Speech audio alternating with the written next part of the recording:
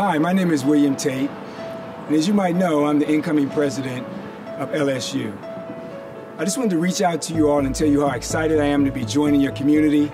My wife and I are ecstatic about being part of the LSU family. We look forward to partnering with you to take LSU to new heights. A couple of things I want to highlight that I think are extremely important. We have outstanding faculty. We're doing a wonderful job. I want to be supportive of that group, work with them, partner with them to be the best teaching and learning environment we could be throughout the system. Wonderful staff in place who work really hard. I know this past year during the pandemic was tough. Really want to say how much I appreciate what you've done. Been on calls with other colleagues there during the pandemic and watched and learned a lot about what LSU did to keep the doors open. Amazing team. And of course, the wonderful students at LSU who I can't wait to spend time with. I just want to tell you that I'm looking forward to helping and adding value and, and making LSU great.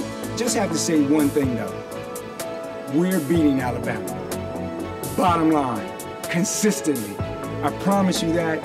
I look forward to working with the athletic department, academics, and the administrative staff to help LSU continue to rise and be great.